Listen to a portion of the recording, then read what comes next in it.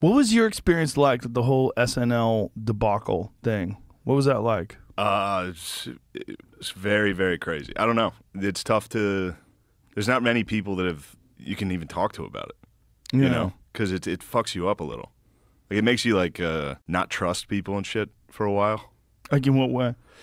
I don't know. I don't know how to explain it. It's but the, back to the main. The experience of it was like you just. Uh, it was kind of surreal because I went from. I was one of the first people to get like canceled or however you want to say it. Consequences. However, Yeah. however you want to say it. Doesn't matter what we call it. It is what it is. Right. But uh, I was one of the first people to go from. I was doing. I was poor. I was not famous at all. I was poor, and then I got canceled immediately. Like that was my th- like. Right. It was a You very you didn't different get experience. famous and then yeah, get canceled. most people that get canceled are yeah. you got canceled on the way. I got canceled immediately. Yeah. They they literally were like, "How about this guy?" And everyone was like, "No." So you got cast on SNL, Yes. and then what happened? Um. So I found out I was getting on SNL the day before they announced it. So I got a call. They're like, "Hey, we want to put you on the cast." The whole time I was. We'll start from the top. my my agents and all those people. They were like, "You're. Do you want to audi- or do you want to write? Do you want to send a packet in for SNL?" And I was like, "No, I'm not going to be a writer. I'm never going to. I won't work on that show."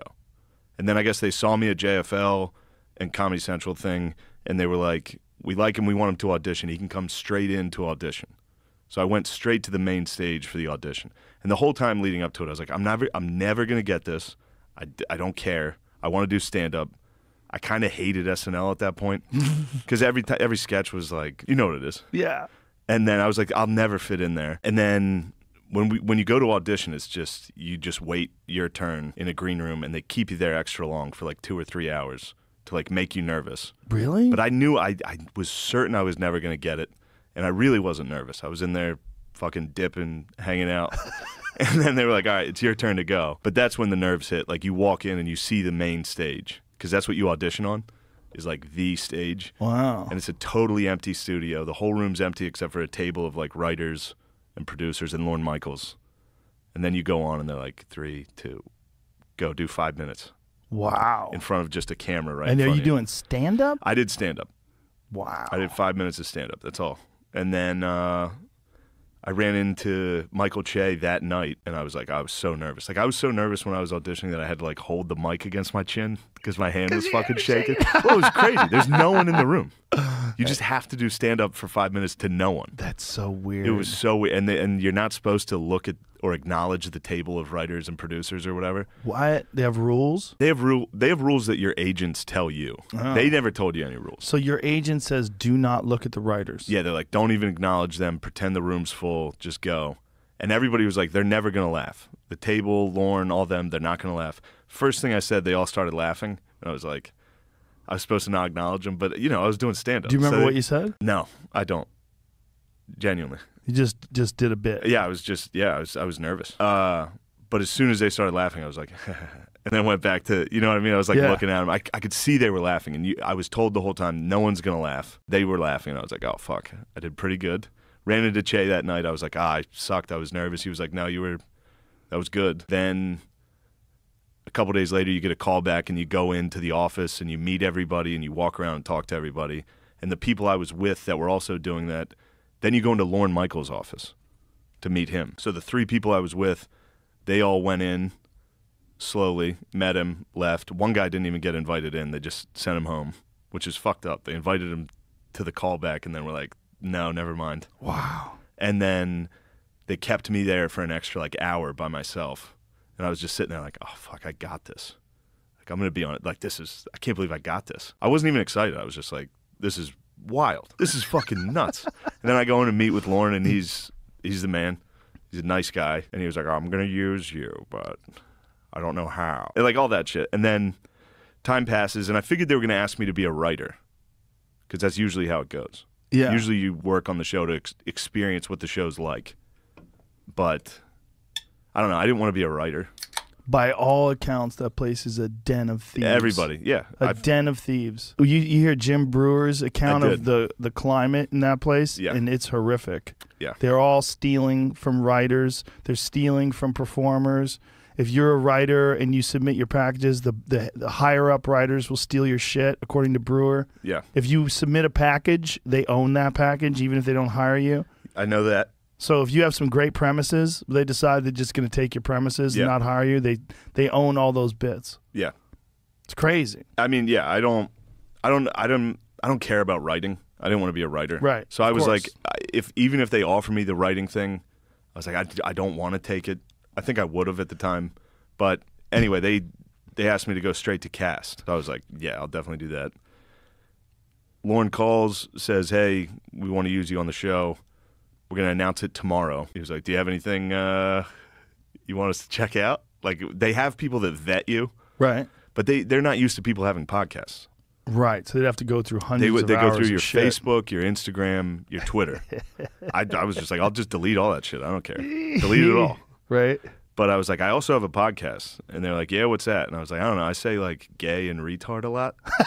and they were like, they were like, Oh, that's fine. Don't worry about it. so I was like, All right, we'll see. And uh, so the day they announced it, it's a, it was it was cool. It was very cool. You hear from everybody you've ever grown up with. They're all like, "Holy shit! What just like I can't believe you're on this." And then so that lasted for about like three hours before an article came out. That was like, "Here's what this guy says." There's a clip of me saying some, you know, unsavory stuff. Yeah. But Talking shit. it was it was the one podcast we ever filmed. That's the one they used. Wow. And it just happened. And it was funny too because people were like, "Man, they really had to dig to find this." I was like, "That's probably like three minutes in." it was like we had one podcast online, and it was three minutes in. Well, Uh, it's yeah. what we were saying earlier. That's what podcasts are, and that's what comics do a lot. We talk shit. It doesn't mean you really mean those things, but the idea today is that talking shit is not real. They want to take out of context phrases and sentences that you've used and put them in quotes and make you look like a monster. yeah, Who- yeah, for sure. It was only one article that came out. No, there was a, Quite a few. so many articles. I was, I think I was number one on Twitter for like three straight days Wow. of just getting fucking eviscerated. Did you read it all? Oh, I read all of it. Oh no. Yeah, everybody was like, "Stop reading." Com-. I still read comments. I Do read you? every comment. Yeah. Why? I don't know. Oh. It's it's fucked up, and it's crazy too because I'll read like ninety good ones and then one bad one. The one like- bad one will fuck you up. Just depends which one it is. Right. You know, I, I'll get called like, uh, you know, fat retard constantly. I'll be like, yeah, whatever. I can I can walk through that, no problem. Right. But then there'll be one that's like he's nervous, like something something where they get you, where they they know you. Yeah. Like he laughs at his own jokes on every podcast. It's like, oh fuck. Do I? Shit. Right. Anyway, so I get all that stuff comes out, and it was funny. This is funny. I went into Lorne's Lorne Michaels' office, and he was talking, and I was convinced I was getting fired. Like I knew I was getting fired. Because if they didn't get me on that, there's so much more, so much worse. and uh, so he was talking to me, and he was like, "No, we think we can." He's like, "If we just get you to the first episode, like people will see you're not a piece of shit person." Right. like just talk. And I was like, whatever, I'll do. If I just, if I get fired here, whatever, I'll just go do Joe Rogan next week and I'll be fine. Anyway, I thought that was funny. No, what? I was like, I, I Is that what literally, you thought? I literally thought that. Oh, okay. Yeah, I thought it'd be funny. Well, it could have been funny. Yeah, I was booked up though. no, it was fine. I, it was just funny to truly. That was a conversation I actually had Really? in Lorne Michaels' office in the middle of that. That's hilarious. I, it was. I was in pure fucking panic. Terror. Yeah, Yeah. yeah, yeah, yeah.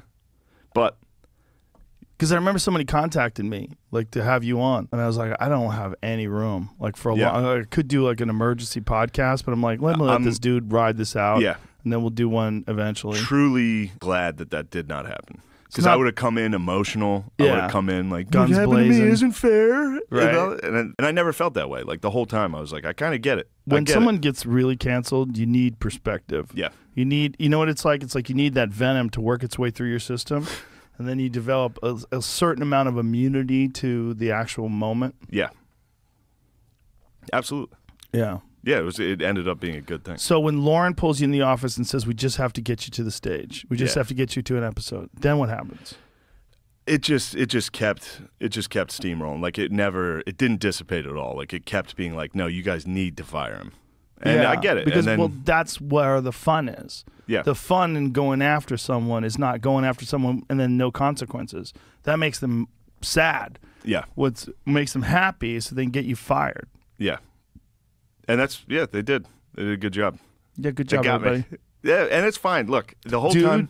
here's why it's fine. Your sketches that you're doing, what is it, Gilly and Keeves? Yeah, Those are the best fucking comedy sketches that are on the internet right now. And Thank I'm not, you. I'm not bullshitting. The only thing that's at the same level is Kyle Dunnigan shit. Oh man. Kyle Dunnigan